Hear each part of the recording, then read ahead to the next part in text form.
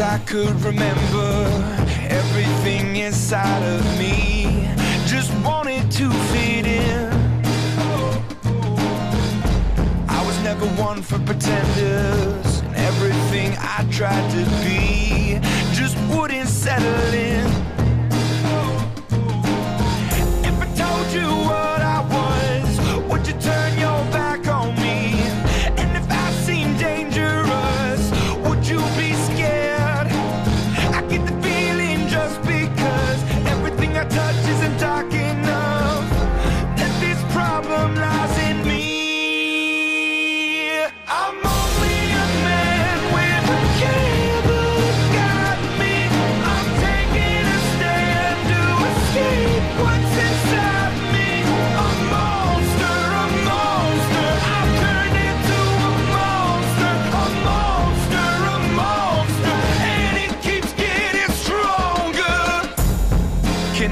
my conscience if I'm different from the rest?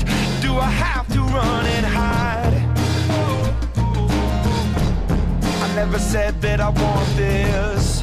This burden came to me, and it's made its home inside.